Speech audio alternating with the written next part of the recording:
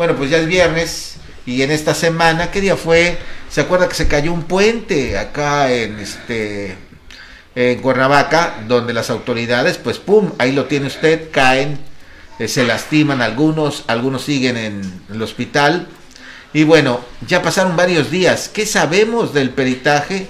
¿Qué sabemos de las posibles causas de este colapso? La verdad es que nada, no se ha informado hasta el momento de estos detalles que son importantes.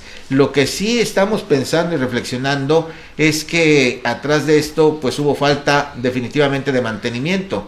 Por eso esta mañana estamos aquí con el especialista en temas de protección civil, Carlos Alberto Ríos Figueroa, para platicar de esto que ocurrió y que esperamos que no vuelva a ocurrir si es que se le da mantenimiento pues a todas las obras. Así es que saludo con gusto a Carlos Ríos. Carlos, buenos días. Evaristo, buenos días.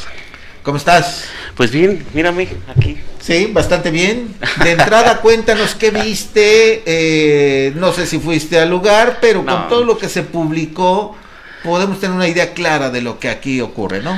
Pues sí, mira, lo, lo que vemos es un reflejo fiel de la poca importancia que tiene la protección civil para nuestras autoridades electas, para los funcionarios de primer nivel, donde hay una un documento emitido por su propia unidad de protección civil municipal, donde recomienda que ese puente no está en condiciones para ser utilizado, y, no conformes por no, con no hacerle caso al documento, pues le meten sobrepeso y brincan. brincan, eh, eh, como vemos el, caso del ayudante de Amatitlán, ¿no? Que, Aunque el ayudante ya dijo, bueno, sí brinqué, pero tantito, no era para eh, tanto. pero, pero en algo contribuyó. Hay que recordar, hay que recordar, hay que recordar que a brincar generas otro tipo de esfuerzo. Hay que recordar que los desastres, los accidentes en este en este caso dependen de muchos factores. Y va y va desde el diseño del puente, la falta de mantenimiento, eh, en este caso, Protección Civil sí hizo su trabajo de, señalar y de, y, de, determinar que ese puente no se puede Protección Civil de Cuernavaca? Protección Civil de Cuernavaca. Ok.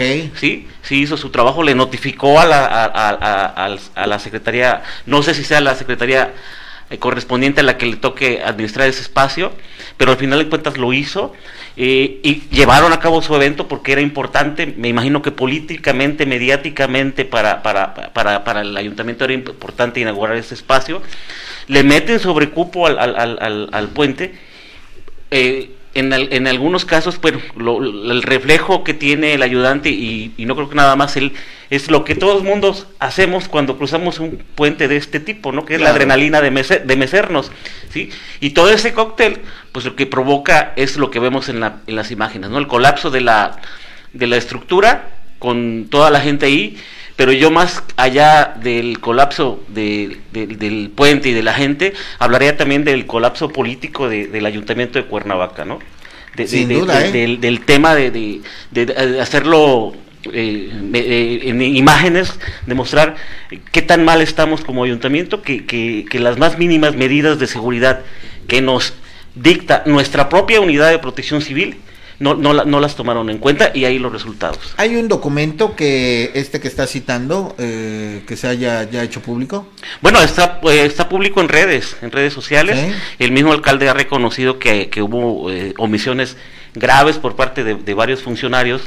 Este es un es una aunque mal hecho hay que reconocerlo, es, es un documento donde la directora de la coordinadora de Protección Civil manifiesta que eh, puente eh, manifiesta las condiciones de, la ruta que se va a seguir, manifiesta que el puente está en mal estado con falta de mantenimiento y recomienda su no utilización hasta que se lleven a cabo las medidas correctivas.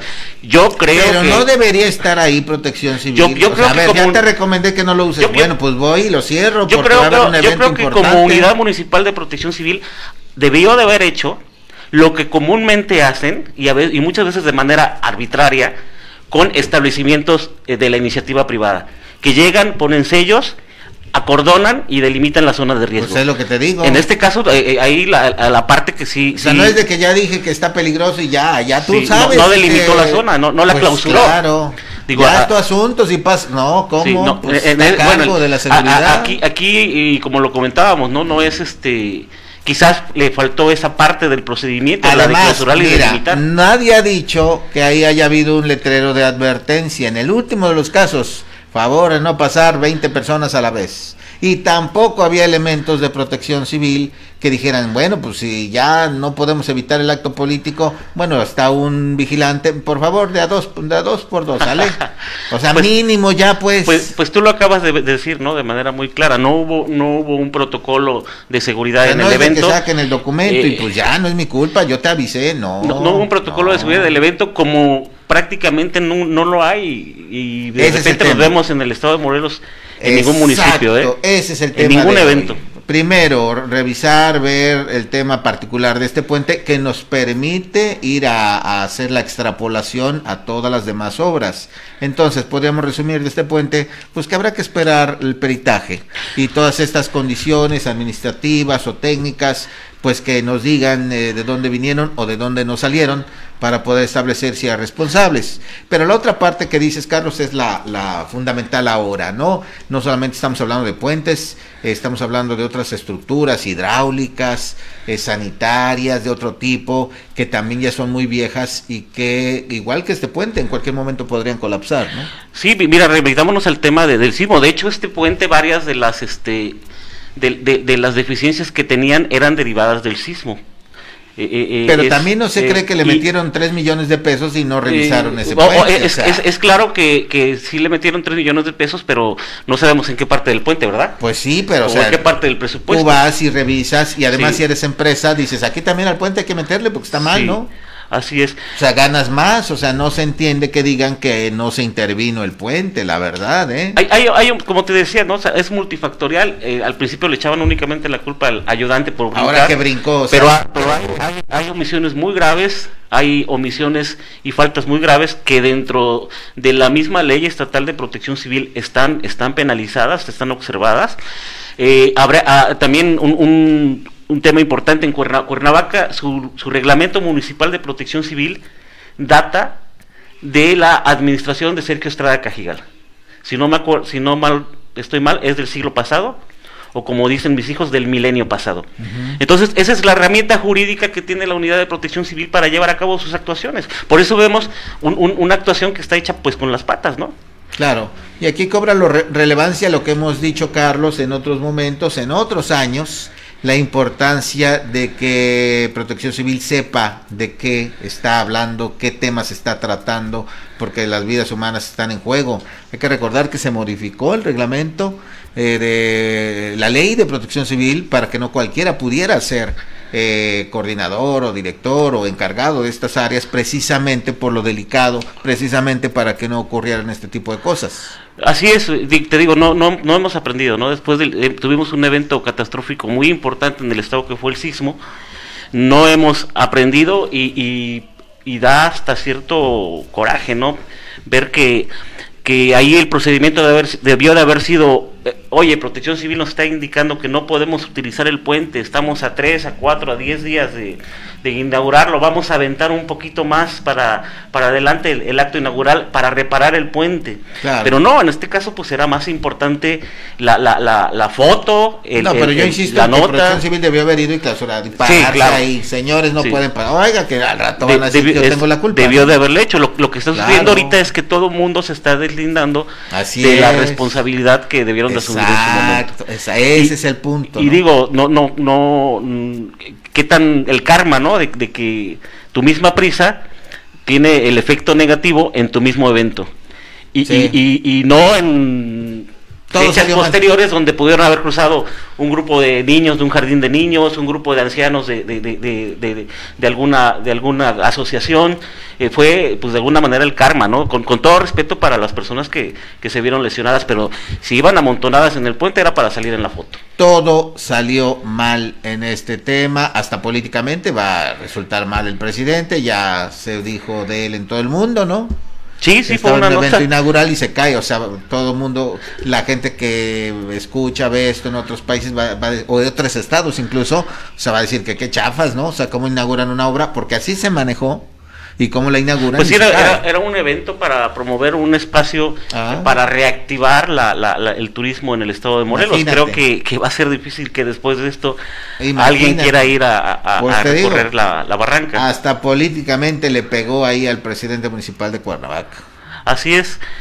digo, el, el, el, como te decía, el golpe político es muy fuerte. Eh, eh, ojalá escarmienten estas autoridades. resolver y dar con el que, yo creo que sancione. Aquí, aquí debe, en este caso, es un, no es un parque este, que dependa de servicios públicos, es una barranca natural.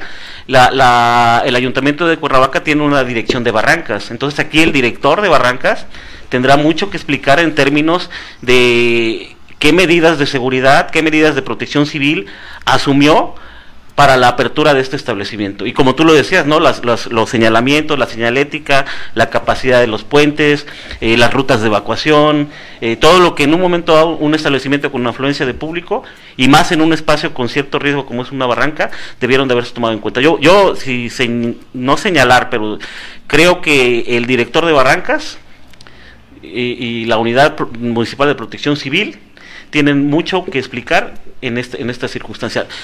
a lo mejor no lo hicieron porque una dirección no pesa más que una secretaría.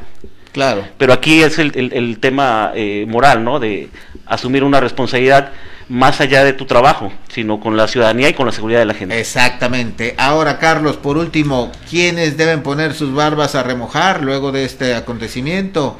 Deben ser los alcaldes de revisar las presas, los puentes colgantes que, hay, las carreteras, ¿qué deben de revisar ahora tras este acontecimiento? Eh, o más bien eh, revisar si el apartado que dice mantenimiento se está cumpliendo, ¿no?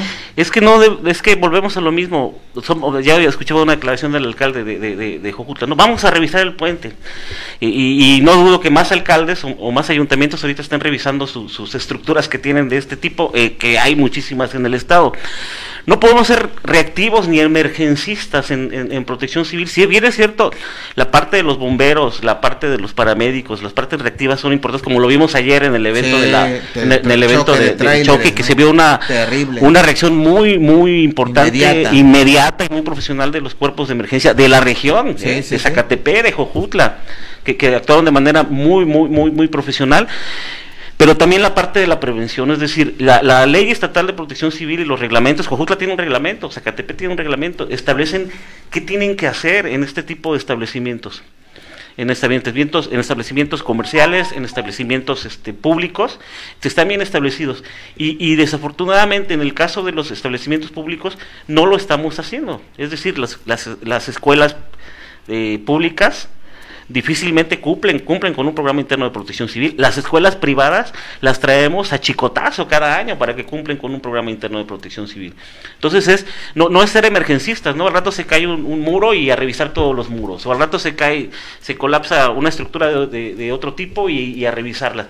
Si, si establecemos nosotros dentro de nuestros calendarios de trabajo actividades que tengan que ver con la revisión, con la previsión de este, de este tipo de establecimientos, pues en esa medida contribuiremos a que se reduzca el grado de que sucedan. Los atlas de riesgo por eso son importantes. Los atlas de riesgos, a través de ellos, es como establecemos dónde tenemos eh, ciertos riesgos y a partir de que tenemos el conocimiento del riesgo, establecer medidas de mitigación. Entonces, eh, eh, los municipios no están asumiendo también esa responsabilidad. Algunos ya. Es momento pues de revisar y por su parte las autoridades dar este mantenimiento pues anual, eh, periódico de toda la infraestructura y también lo haremos extensivo, Carlos, a los ciudadanos, ¿no? A los que, claro. los que tienen su negocio. toda aquella persona que observe un riesgo, si yo como ciudadano camino y veo que una estructura está tiene la condición para colapsarse, mi obligación es notificarla a la autoridad correspondiente para que lleve a cabo la medida correspondiente. Claro, y esto nos recuerda, Carlos, eh, la disposición que iba a poner, eh, no recuerdo qué secretaría, de que eh, iba a haber una revisión mecánica obligatoria de los vehículos aquí en México. Mantenimiento preventivo, decían, ¿no? Que el presidente de la República echó abajo. Dijo, aquí no vamos a estar bolseando a los ciudadanos, porque iban a cobrarte dos mil pesos Sí, digo, aquí... eh, eh, eh, Hay eh, que hacer la revisión del vehículo a- también. Ahí es un tema de autoprotección, ¿no? Si mi vehículo, si yo es- le escucho un ruido, si de repente mis frenos, en esta época de lluvias, cuidado, ¿no? A revisar Sí. los frenos. Sí. Eh, es, es un tema de autoprotección, ¿no? Es una responsabilidad que debemos asumir cada uno de nosotros con el bien, con el bien, porque el vehículo es un bien, con nuestra integridad, la de nuestra familia, pero también la de las personas que tenemos enfrente. Definitivamente, pues muchas gracias Carlos por estos apuntes, estas observaciones. Mantenimiento es la palabra misteriosa, ¿no? De todo este asunto. Hay que aplicarlo, hay que ejercerlo, hay que destinar un presupuesto. Fíjate, Cuernavaca, Cuernavaca se ha caracterizado por ser un municipio en materia de protección civil bastante pesado con las con las empresas particulares. Bueno, hemos visto casos eh, donde inclusive eh, eh, eh, inspectores de protección civil han ido han, han sido sujetos a procesos por la fuerza con que quieren imponer en un momento la ley. Hay plazas plazas comerciales en Cuernavaca donde porque no tienen un extintor quieren cerrar toda la plaza. Y, y vemos en este caso cómo la, la- la actuación simplemente fue, ah, bueno, te notifico, Ah. y yo ya no, ya te notifiqué y ya me deslindo. ¿eh? Ya fue Ya relajado. me deslindo, ya. Este, como somos de casa, pues no hay ningún problema. Ahí está el resultado. Así es, y vamos a ver el resultado también de la investigación. Ya la Fiscalía Anticorrupción dijo que ya está haciendo los peritajes, está haciendo la investigación. Esperamos conocer un resultado que sea eh, por razonable y sea convincente, ¿no? Así es. Gracias, Carlos. No, a tus órdenes. Buen día. Igualmente.